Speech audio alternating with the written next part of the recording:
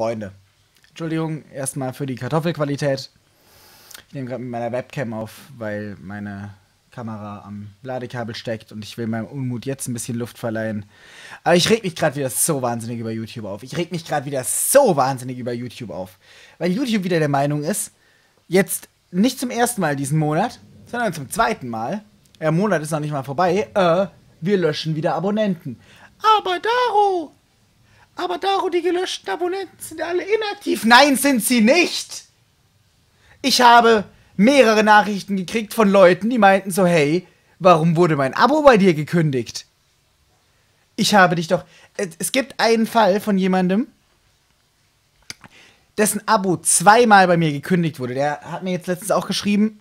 Äh, ich weiß nicht, ob ich deinen Namen sagen soll, aber ich. Äh, auf jeden Fall wurde dem jetzt das zweite Mal sein Abo bei mir äh, gelöscht. Weil YouTube denkt, ah, wir löschen einfach mal random Abos raus. Und das ist ja kein Problem, weil wenn es jemand ist, dessen Content, äh, deswegen wäre kein Problem, weil wenn es jemand wäre, dessen, äh, der sich wirklich für meinen Content interessiert, der merkt dann so, hä, warum kommt von Daro, der macht doch täglich Videos, äh, warum kommen von dem keine äh, Videos mehr in der Abo-Box? Deswegen kommen ja auch immer wieder welche zurück. Aber die Problematik dabei ist der Algorithmus. Ich meine, meine Videos werden eh nicht oft vorgeschlagen, ne? Neben anderem. Äh, kann man übrigens in der YouTube-App nachgucken, falls ihr Content Creator seid, kann ich die äh, nur empfehlen. Da kann man dann nachschauen, wo dann, äh, unter welchen Suchbegriffen das Video vorgeschlagen wird und neben welchen Videos dein Video vorgeschlagen wird und so. Und der Algorithmus, der sieht nicht, dem wurden Abonnenten gelöscht, sondern der Algorithmus sieht, ah, der wurde zehnmal diesen Monat deabonniert. Und äh, gut, das ist dann halt äh, immer in Relation zu sehen. Bei mir, ich habe jetzt letzten Monat elf Abonnenten gemacht da ist ein Minus von 10 ziemlich heftig. Das heißt, ich bin im Moment bei dem Plus von 1. Ob da, wenn du so ein großer YouTuber bist, weißt du, da machst du 1000 Abonnenten am Tag, da interessiert dich das nicht, ob da am Tag 30 Abonnenten gelöscht werden. Ob du jetzt 1000 Abonnenten oder 970 Abonnenten am Tag machst, das macht auch beim Algorithmus keinen großen Unterschied. Aber bei uns kleinen YouTubern, ich bin ja nicht der Einzige, dem es passiert. Ich tausche mich ja auch ein bisschen aus. Es gibt viele YouTuber, denen Abonnenten gelöscht werden. Und es passiert regelmäßig. Wie gesagt, das ist das zweite Mal diesen Monat. Das ist jetzt bestimmt schon das vierte Mal dieses Jahr. Und es ist so wahnsinnig dreist. Und der Algorithmus, der sieht halt nur, äh, der wurde deabonniert. Den ranken wir nicht so hoch. Und unsere. Es fängt gerade mega an zu gewittern. Das passt zu meiner Stimmung gerade. Und meine Videos, die werden eh nicht oft angezeigt. Ich habe dann. Ich werde dann vielleicht zweimal im Monat neben irgendeinem großen YouTuber angezeigt. Und jetzt sieht der Algorithmus so, ah, nee, der macht so viele Deabos. Dessen Content scheint ja nicht mehr so gut zu sein. Jetzt zeigen wir den gar nicht mehr neben irgendwelchen YouTubern an.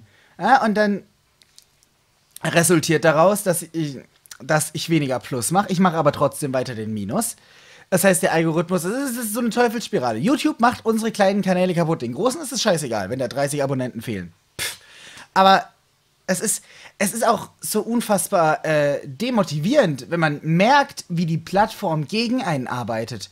Und ja, das Video wird wahrscheinlich den, den, Titel tragen, meine letzten Projekte. Es gibt ein paar Let's Plays. Ich werde auf jeden Fall die Let's Plays, die gerade laufen, fertig machen. Das auf jeden Fall. Und es gibt ein paar Projekte, die will ich auf jeden Fall auf meinem Kanal haben. Da werde ich mal schauen. Ähm, ich habe dem Ganzen jetzt eine Deadline gesetzt. Ich habe gesagt, ich warte, bis Pokémon für die Switch rauskommt. So lange mache ich regelmäßig weiter Videos. So lange werden meine Projekte weiterlaufen. Dann gibt es halt Ocarina of Time, will ich unbedingt noch auf meinem Kanal haben. Und vielleicht Dragon Quest 9, obwohl es so, das wird auch wieder so ein 180 Folgen Let's Play. Das weiß ich nicht, ob ich das mache. Deadline Pokémon Switch. Pokémon Switch werde ich auf jeden Fall noch Let's Playen. Aber wenn sich bis dahin nichts gebessert oder geändert hat auf YouTube, ist Pokémon Switch mein letztes Projekt. Danach ist aus. Also, es, ich sehe da halt keinen Zweck, wenn die ganze Zeit gegen einen gearbeitet wird, ne? Ich, man verliert die Motivation.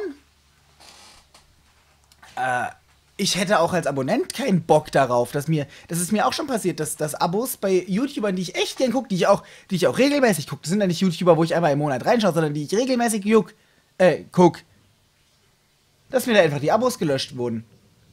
Und ich war dann auch so, so, hallo, YouTube geht's noch?